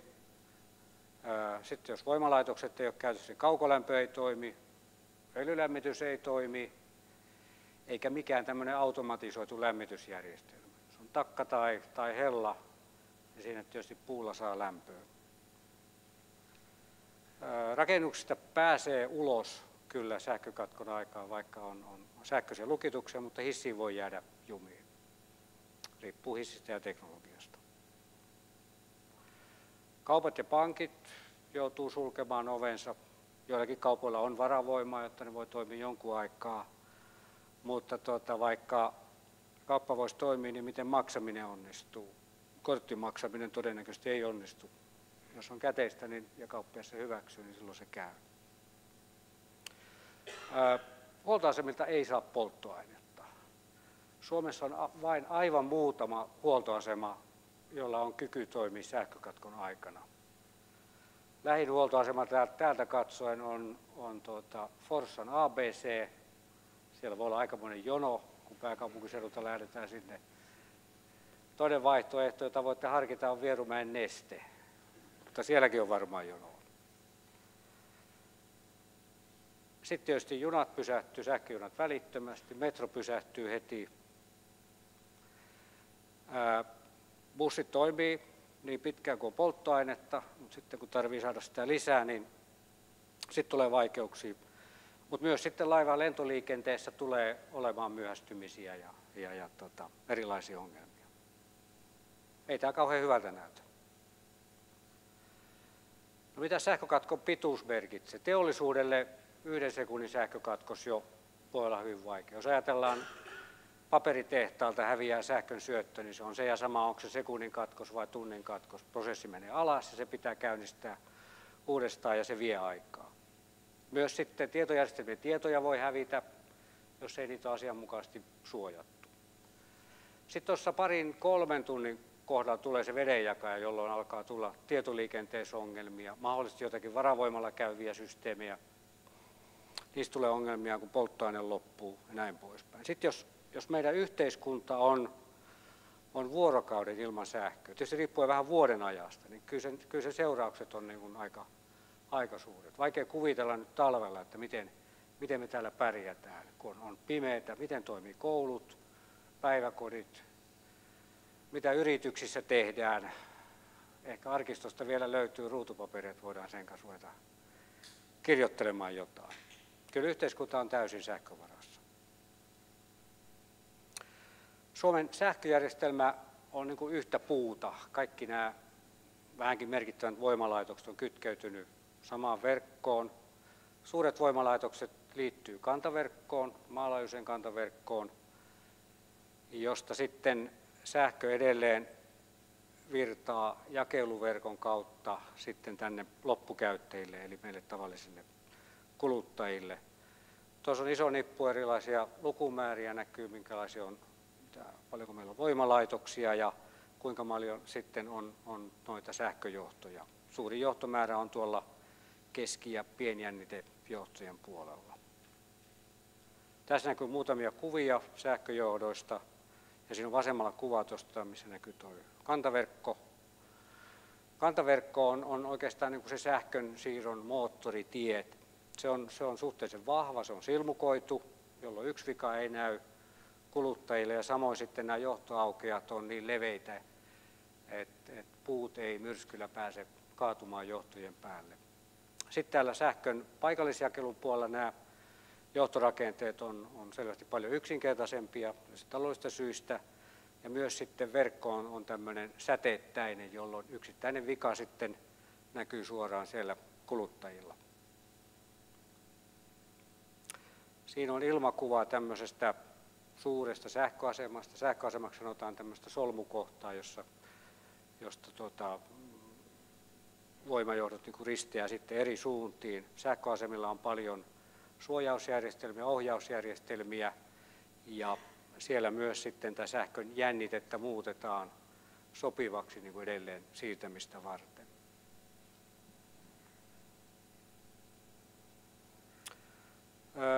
Sähköalalla on niin kuin oikeastaan erottava kaksi osaa. On tämmöinen kilpailtu liiketoiminta. Sähkön tuottaminen on niin vapaa, vapaan kilpailun puitteissa. Kuka vaan voi rakentaa voimalaitoksen. Okei, jos tekee ydinvoimalaitoksen, niin pitää saada valtioneuvoston lupa ja pitää ympäristöluvat ja näin poispäin. Ja, ja sitten voi sähköä myydä kenelle haluaa. Käytännössä sähkö kauppaa käydään Pohjoismaissa sähköpörssissä Nord Poolissa ja sähkölle muodostuu sitten aina kerran vuorokaudessa tämmöinen tuntihinta. Suuret asiakkaat ostaa pörssistä sähköä ja sitten me tavalliset kuluttajat ostetaan vähittäismyyjiltä sähköä. Normaalin tariffi on tämmöinen toistaiseksi voimassa oleva hinnoittelu. Sitten tämä sähkön siirtäminen, se on eriytetty kokonaan tästä sähkön tuotanto- ja myyntitoiminnasta ja se on, on tämmöistä säänneltyä monopolitoimintaa. Kantaverkosta vastaa Fingrid, joka on valtioenemmistöinen yhtiö. Sen lisäksi sitten näistä paikallisesta sähkönjakelusta vastaa nämä paikalliset verkkoyhtiöt, joita Suomessa on edelleenkin noin 90 kappaletta. Osa suuria, osa hyvinkin pieniä. Sähkönkulutus on kasvanut oikeastaan, voi sanoa, että sata vuotta niin pitkään kuin sähkö on ollut, mutta nyt tästä ihan viime vuosien aikana tämä kasvu on taittunut. Siihen on useita syitä. Yksi on, on, on taantuma, taloudellinen taantuma. Toinen syy on sitten teollisuuden rakennemuutos. Me on hävinnyt sellaista paljon sähköä kuluttavaa teollisuutta. Ja kolmas tekijä, ehkä tässä on, on myös hyvä mainita tämä energiatehokkuuden lisääminen. On syntynyt sellaisia ratkaisuja, jotka käyttävät vähemmän sähköä kuin aikaisemmin. Monilla tahoilla kuitenkin edelleen ennustetaan, että sähkön kulutus tulee kasvamaan tulevaisuudessa, mutta hyvin maltillisesti. Meillä sähkön tuotantorakenne on hyvin monipuolinen. Se on ihan historialliset syyt. Meillä on paljon vesivoimaa aina Pohjois-Suomessa, sitten on ydinvoimaa, sitten on, on tämmöinen sähkön, sähkön ja kaukolämmön yhteistuotanto, vähän moneen muuhun maan verrattuna poikkeuksellinen, tosin hyvin energiatehokas ratkaisu sekä, sekä täällä, täällä kaupunkien taajamien puolella, mutta myös sitten teollisuuden puolella. Polttoaineena on hyvin paljon kivihiili, maakaasu, käytetään myös turvetta ja yhä enemmän myös sitten, sitten tuota puuta, uusiutuvaa energiaa. Tuosta on myös hyvä noterata tuo tuonnin suuri määrä, eli, eli tällä hetkellä noin 20 prosenttia Suomen käyttämästä sähköstä tuodaan. Valtaosa tulee Ruotsista. Meillä oli vielä joku vuosi sitten tilanne se, että meille tuli, tuli hyvin paljon sähköä Venäjältä, mutta tämä Venäjän tuonti on vähentynyt ja käytännössä sen on, on korvannut sitten Ruotsin tuonti. Ja syynä se Venäjän tuonnin vähenemiseen on Venäjän sähkömarkkinoiden rakenne. Siellä on tukkusähkömarkkinoilla käytössä tämmöinen kapasiteettimaksumekanismi ja sen seurauksena venäläisten toimijoiden ei ole vain kannattavaa viedä sähköä Suomeen. Tällä hetkellä myös Suomesta viedään sähköä tuonne Viroon, Baltian maihin. Että on, valtasuunta on, on vientiä sinne päin. Sähkön käytöstä teollisuus käyttää edelleenkin noin puolet Suomen sähköstä ja me ollaan hyvin, hyvin tämmöinen sähköintensiivinen maa. Ja on tuo metsäteollisuuden, kemia- ja metalliteollisuuden osuus on, on hyvin suuri. Ja, ja tietysti ratkaisee aika pitkälti tulevaisuudessa sen, että miten tämä sähkön kulutuksen kasvu sitten tulee käymään. No Suomen sähköjärjestelmä ei ole, me ei olla niin kuin saari tässä mielessä, vaan me ollaan aika tiiviisti liittyneitä naapurimaihin. Tämä pohjoismainen sähköjärjestelmä muodostaa semmoisen kokonaisuuden. Me sähkömiehet sanotaan, että se käy samassa taajuudessa ja sitä käytetään yhdessä ja sen suunnitteluperusteet on hyvin pitkälti samanlaiset. Meillä on neljä vahvaa yhteyttä Ruotsiin, kaksi merikaapelia tuolta Rauman kohdalta ja sitten Pohjois-Suomesta menee kaksi vaihtosähköyhteyttä. Sen lisäksi meillä on kaksi merikaapeliyhteyttä Viroon, eli yhteys sinnekin on varsin vahva. Ja sitten on, on voimajohtoyhteydet tuonne Venäjälle. Tähän saakka Venäjältä on, on teknisesti voitu vain tuoda sähköä, mutta nyt joulukuusta, viime joulukuusta eteenpäin myös vienti on, on mahdollista. Tosin sitä ei ole vielä tapahtunut yhtenäkään tuntina. Suomi hyötyy hyvin paljon siitä, että se on osa Pohjoismaista ja jatkossa tätä eurooppalaista sähköverkkoa. Jos meidän sähköjärjestelmämme olisi vain oma, eli meillä ei olisi mitään yhteyksiä mihinkään naapurimaahan, niin tähän maahan ei voitaisiin rakentaa niin isoa ydinvoimalaitosta kuin esimerkiksi Olkiluodon ykkönen, kakkonen, saatikka sitten kolmonen on. Se, että me ollaan isommassa järjestelmässä, antaa meille mahdollisuuden rakentaa suuria laitoksia. Samoin me hyödytään siitä, että Ruotsissa ja erityisesti Norjassa on, on hyvin paljon vesivoimaa, jolloin tätä edullista vesivoimaa virtaa silloin suomalaisten hyödyksi. Erityisesti suomalainen teollisuus saa siitä etua. Vastaavasti sitten taas, jos, jos Norjassa on hyvin kuivaa, niin silloin he tarvitsevat tuontienergiaa ja silloin perinteisesti tämä suomalainen ja myös tanskalainen lämpövoima on sitten toiminut siinä, siinä niin kuin, ö, energianlähteenä. Nyt sähköjärjestelmässä on, on tapahtumassa iso murros, kun uusiutuvaa energiaa tulee paljon. Meille tulee tuulivoimaa, Keski-Euroopassa on tullut tavattoman paljon aurinkovoimaa, sitä ei vielä Pohjoismaassa ole paljon tullut. Ja samanaikaisesti häviää kannattamattomana esimerkiksi hiilivoimaa ja, ja tota, yleensäkin tämmöistä lämpövoimaa. Se johtaa sellaiseen tilanteeseen, että tämä, tämä hiilivoima, joka sinänsä niin kuin huoltovarmuuden kannalta on tavattoman hyvä, hyvä niin kuin tuotantomuoto, niin se häviää ja, ja, ja myöskin sitten tämmöinen niin kuin säädettävä voima häviää. Jatkossa järjestelmässä on sellaista, sellaista tuotantoa, joka, jota, joka ei tuota silloin, kun ihmiset tarvitsevat sähköä, vaan silloin, kun tuulee tai, tai aurinko paistaa. Se asettaa niin kuin omia haasteita. Komission tavoitteena on luoda eurooppalaiset sisämarkkinat sähkölle, ja se tarkoittaa, että, että eurooppalaisia näitä sähkön siirtoyhteyksiä on vahvistettava. Silloin nämä pohjoismaiden ja Keski-Euroopan välisiä yhteyksiä tulee jatkossa vielä lisää. Baltian maat liittyvät hyvin tiiviisti myös tähän pohjoismaiseen verkkoon ja eurooppalaiseen verkkoon. Ja Baltian, mailla, Baltian maat, jotka tällä hetkellä on vielä niin kuin kiinni siinä vanhassa neuvostoaikana rakennetussa Venäjän sähköjärjestelmässä, ne haluavat myös eroon tästä Venäjän sähköjärjestelmästä ja kytkeytyvät sitten vaan Pohjoismaihin ja, ja tuota, Puolan kautta Keski-Eurooppaan. No sähköllä on sellainen erikoispiirre, että sitä pitää tuottaa joka hetki täsmälleen sama määrä kuin sitä kulutetaan.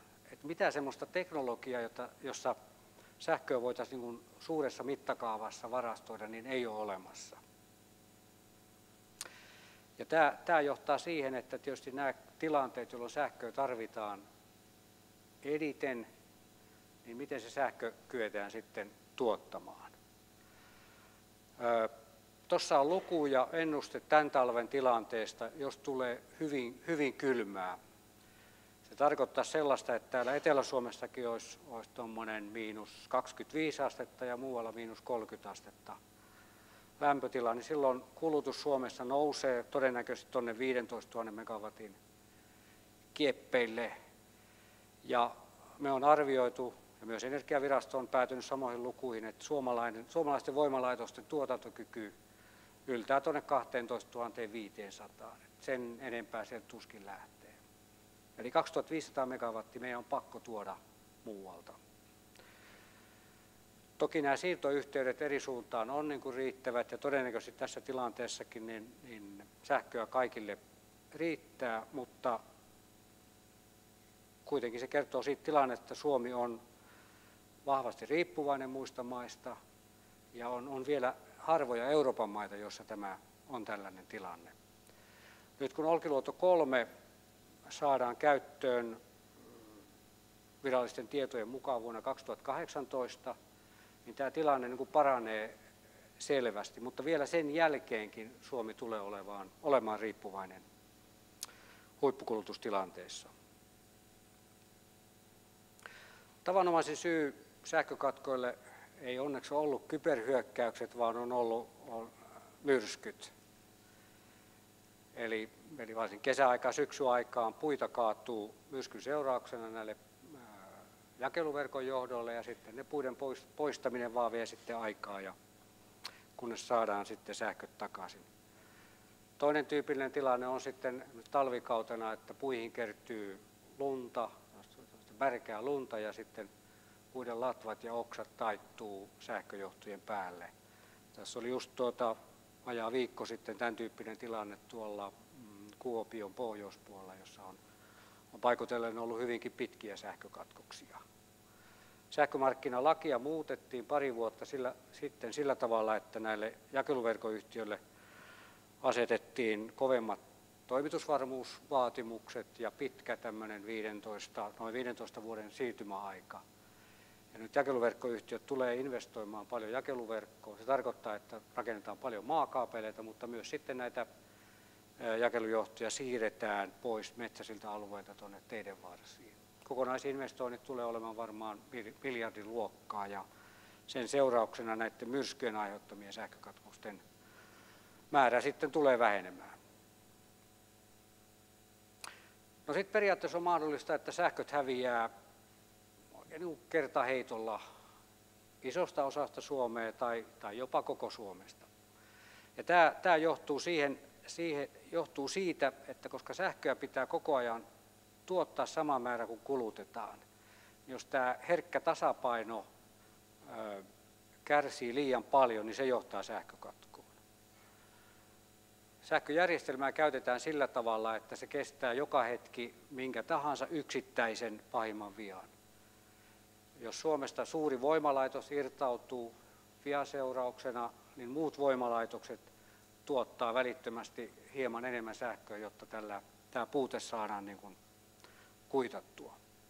Mutta jos jostain syystä sattuu useita tämmöisiä vakavia vikoja samanaikaisesti, niin se johtaa tilanteeseen, jolloin silloin nämä verkossa olevat voimalaitokset, niin suojajärjestelmä näkee sen, että, että verkossa on vika ja ne se kytkee sen voimalaitoksen irti. Seuraava voimalaitos näkee tilanteen samalla tavalla ja syntyy tänne dominoilviö ja sitten sähköt häviää laajalta alueelta.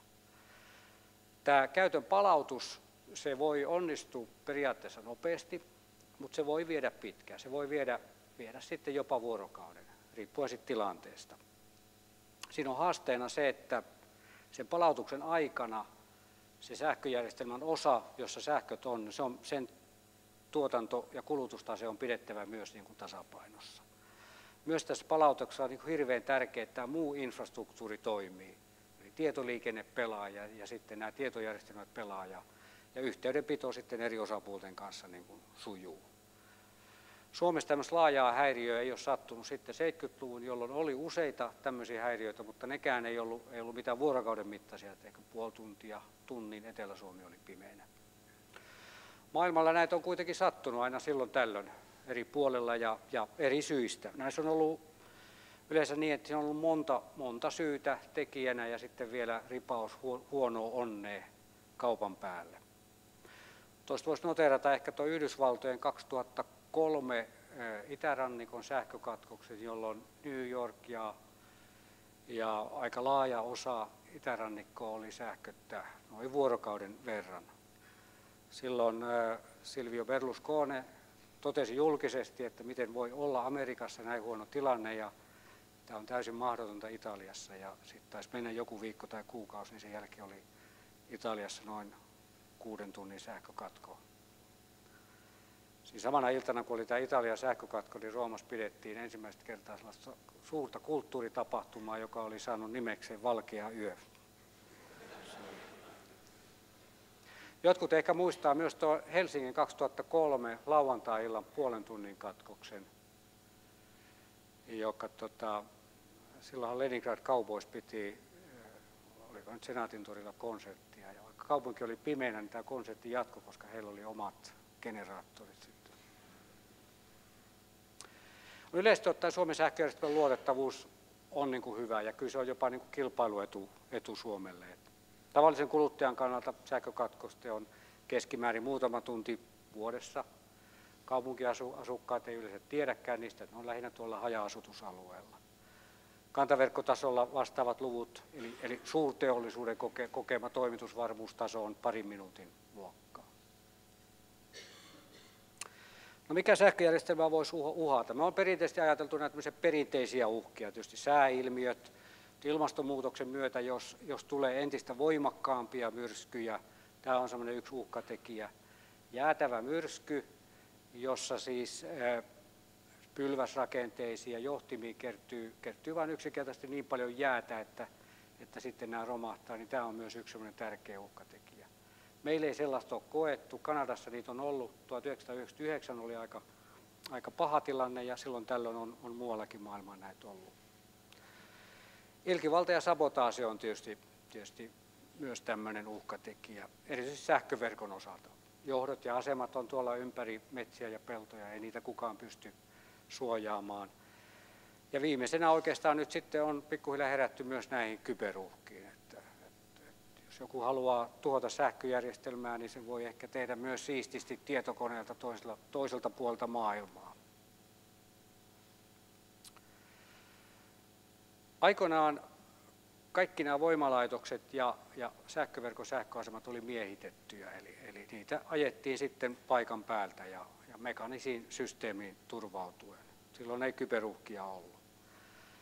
Tänä päivänä voimalaitosten käyttö ja ylläpito, se vaatii paljon tietotekniikkaa. Nämä suurimmat voimalaitokset, lämpölaitokset ja ydinvoimalaitokset ja isot lämpölaitokset, kaukolämpölaitokset, niillä on paikallinen valvomo sillä voimalaitoksessa ja ja sieltä sitä voimalaitosta sitten ajetaan. Mutta sitten jos ajatellaan näitä vesivoimalaitoksia, Kemijoen vesistö, Oulujokea ja, ja niin poispäin, tai sitten pienempiä voimalaitoksia, tuulivoimalaitoksia, tämmöisiä, niin ne on kauko-ohjauksen piirissä ja miehittämättömiä. Niitä sitten nämä suuret sähköntuottajat ajaa omista valvomoistaan. Silloin siinä tarvitaan tietojärjestelmää niihin ja tarvitaan sitten myös hyvät tietoliikenneyhteydet. Vastaavasti sähköverkon osalta, niin jos ajatellaan sähköjakeluyhtiöitä tai, tai sitten kantaverkkoyhtiö Fingridia, niin, niin tämä verkon hallinta tapahtuu valvomosta, jossa on omat tietojärjestelmät, joilla sitä hoidetaan. Ja samalla tavalla myös sitten tarvitaan tietoliikenneyhteydet, joilla sitä verkkoa voidaan ohjata ja myös sitten kerätä tietoa. Se, että, se, että, että verkossa osataan tehdä oikeita toimenpiteitä, niin, niin tarvitaan hyvin paljon reaaliaikaista tietoa siitä verkon tilasta, myös sitten voimalaitosten toiminnasta ja muusta niin kuin lähiympäristöstä. Ja kyllä sähköjärjestelmäkin voi olla hakkereiden kohde. Katselin tuossa internetistä, mitä on tässä viime aikoina ollut tietoja. Oli tämmöinen uutinen Etelä-Korea ydinvoimayhtiön, oli yritetty, yritetty murtautua, mutta ilmeisesti ei päästy kovinkaan pitkälle – Toinen keissi liittyy Tanskan mm, valtioomisteiseen kantaverkkoyhtiöön Energiinettiin, jossa paikallinen media oli saanut käyttöön konsulttiraportin sekä myös eurooppalaisen vertailun, jota he tulkitsivat sillä tavalla, että Tanskan tämän kantaverkkoyhtiön kyberturvallisuustaso on tavattoman huono Vaikea sanoa, mikä siinä on totta sitten. No, katsotaan sitten, miten Fingerissä tähän kyberturvallisuuteen on, suhtaudutaan. Jos ensin pitää kysyä, kysyä että on, onko mahdollista, mikä on se pahin uhka kantaverkkoyhtiö Fingerin kannalta. Ja, ja kyllä se voi ajatella niin, että jos joku, joku pääsee tavalla tai toisella tunkeutumaan ja aiheuttaa suuren sähkökatkon, Mä äsken kerroin, että miten, miten tämmöinen valtakunnallinen sähköhäiriö on teknisesti mahdollista. Ja se, mikä on teknisesti mahdollista, niin joku voi tietysti sen tietoisesti sitten tehdä myös. Ja hyvin, hyvin tärkeää niin tunnistaa, että tämmöinen, on, tämmöinen riski on myös olemassa. Toki se on niin äärettömän pieni riski, mutta se on aina pidettävä mielessä, ja tehtävä kaikki mahdollinen, jotta sen todennäköisyys pysyy mahdollisimman pieni. Nollaan sitä ei saada koskaan. Finkinissä tämä kyberturvallisuusajattelu tietysti perustuu yhtiöstrategiaan, liiketoimintastrategiaan ja ICT-strategiaan ja, ja, ja siinä on hyvin tärkeä niin kuin, katsoa se, että, että missä, missä ollaan, mitä kyetään itse tekemään ja, ja miten kyetään niin kuin muiden kanssa parantamaan tätä kyberturvallisuuden tasoa. Hyvin tärkeää myös on niin kuin reagoida siihen, mitä toimintaympäristössä koko ajan tapahtuu, mitä uusia uhkia tulee ja, ja mihin, mihin oltava niin kuin hereillä.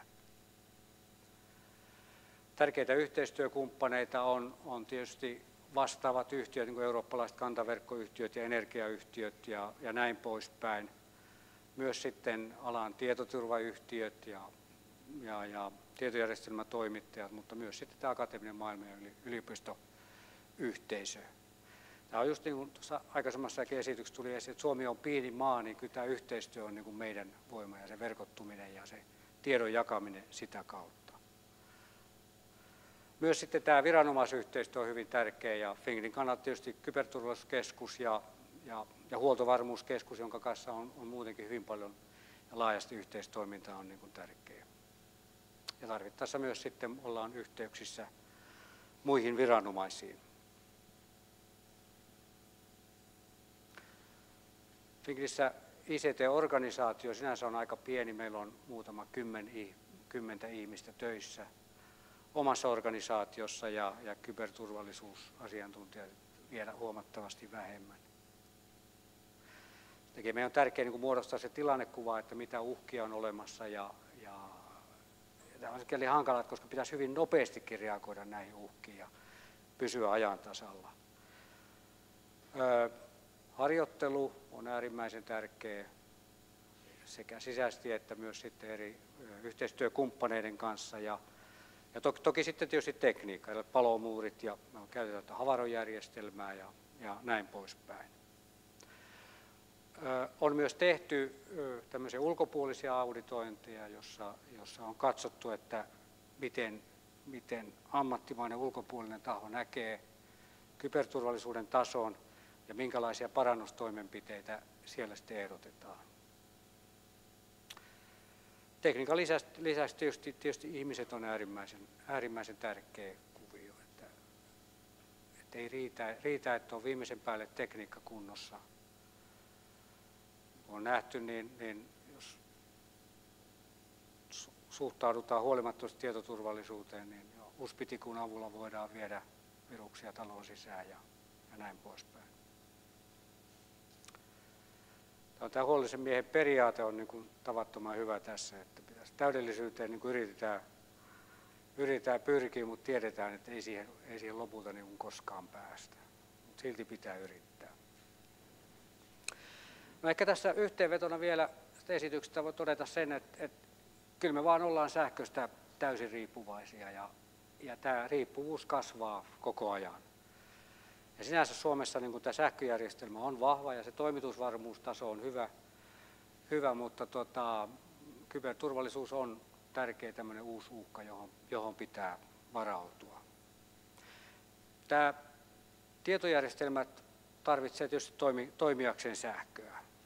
Tarvitaan sitten tietoliikenne. Tämä toimii näin päin, mutta se toimii myös toisinpäin, että, että jos, jos tietojärjestelmät ei toimi, jos tietoliikenne ei toimi, niin, niin ennen pitkää ei ole kyllä sähköäkään, että kyllä tämä keskinäisriippuvuus on niin kuin täysin molemmin suuntaan.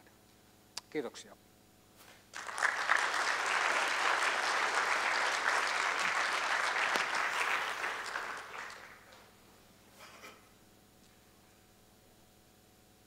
Kiitos Reima.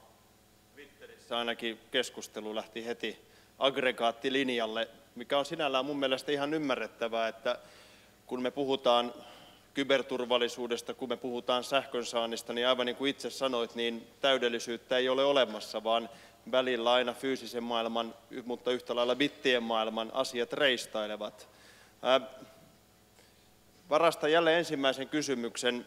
Miten itse näet, miten sietokykyinen suomalainen yhteiskunta, yrityselämä ollaan sähkökatkoihin? Tippuuko meillä tumput kädestä, jos sähköä ei tule? Mä luulen, että se on, se on vähän kahtiajakoinen. Et, et, et on sellaisia alueita, joissa on, on varmennettu hyvin tätä ja ollaan varauduttu. Esimerkiksi sairaaloissa on, on aggregaatit ja näin poispäin. Ja sitten on varmaan sellaisia alueita, joissa tota, ei olla kovin hyvin varauduttu. Mm. Et toimitusvarmuus on ollut kuitenkin sen verran hyvä, ja niin kuin näkee, että salissakaan kukaan ei ollut yli vuorokautta ilman sähköä, niin jos ei ole tällaista muistia siitä, niin, niin, niin tuskin varaudutaan kovin. En ole kovin luottavainen, että koko yhteiskunta on kovin hyvin varautunut. Sitten kysymyksiä, kommentteja Reimalle kyberturvallisuudesta tai sähkönsaannista. Ole hyvä.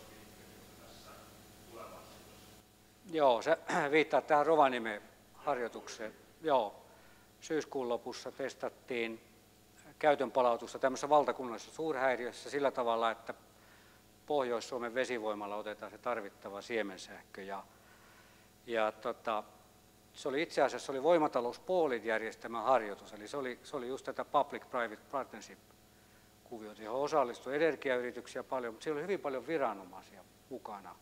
mukana ja tota, niin kuin sanoin, että harjoitus onnistui hirveän hyvin, koska se ei mennyt käsikirjoituksen mukaan.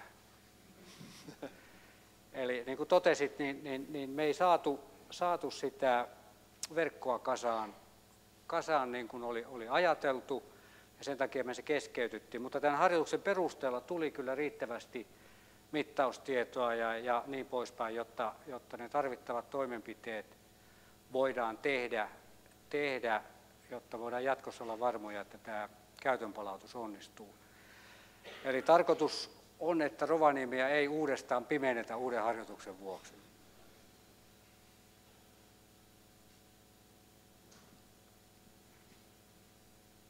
Kysymyksiä, kommentteja?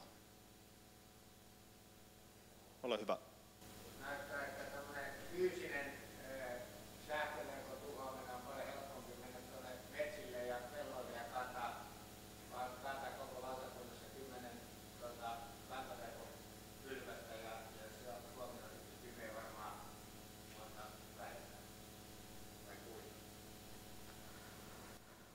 No se, siinä varmaan käy silleen, että jos, jos tietää, mitkä pylvät kaataa, niin se voi onnistua, mutta jos ei tiedä, niin voi olla, että joutuu kaataa tuhat pylvästä, eikä silti, silti ole koko maasta sähköt, sähköt poikki.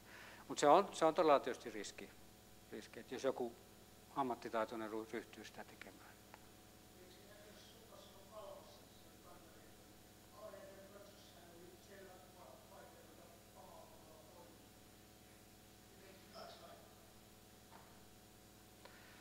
Se riippuu, se riippuu ihan käyttötilanteestakin, mikä paikka on milloinkin kriittinen. Ja, et, tota, mutta se vaatii useita, useita, useita paikkoja. Arto, ole hyvä. Eikä mä rupea niitä luettelemaan nyt.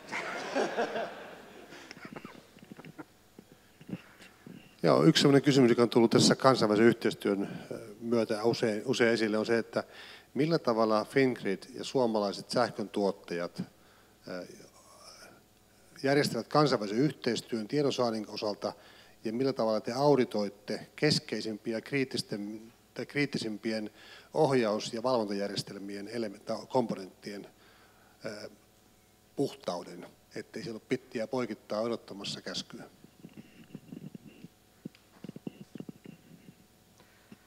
Meillä on hyvin paljon tämä kansainvälistä yhteistyötä niin kuin vastaavien yritysten kanssa Pohjoismaissa ja sitten Eurooppa-tasolla. Ja, ja Eurooppa-tasolla yritetään parhaita käytäntöjä jakaa keskenämme ja vaihtaa, vaihtaa tietoa siitä, mitä on, on sattunut ja verrata, missä, missä ollaan. Että Mutta tuohon toiseen, toiseen kysymykseen, niin kun se, että miten varmistetaan se puhtaus ja näin poispäin, niin, niin siihen mä en tarkkaan osaa, osaa vastata. Kyllä se eteen töitä tietysti tehdään.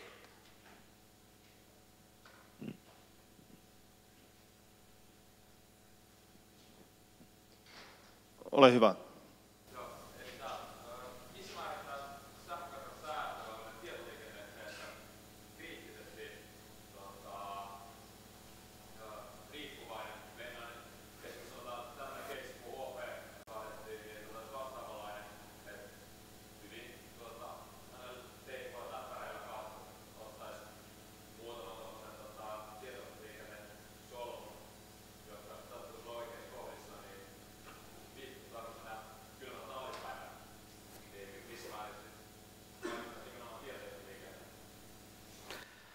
Se tietoliikenne on, on niin kuin hirveän tärkeää. Se sähköverkon käyttö on, on täysin riippuvainen tietoliikenteestä, koska muuten ei, ei voida ohjata verkkoa eikä saada siitä tietoa.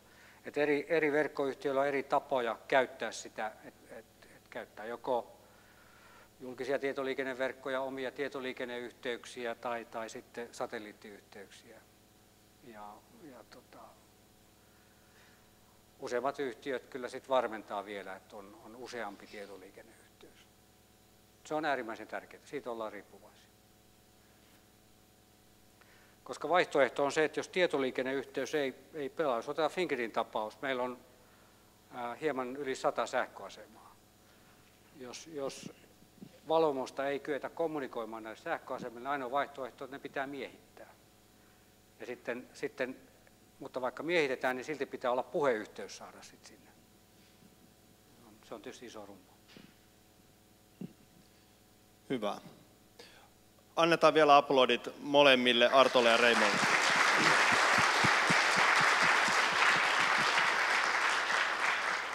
Kiitos kaikille osanotosta niin täällä salissa kuin tuolla verkossa. Jatketaan vajaan kuukauden kuluttua. Kiitos.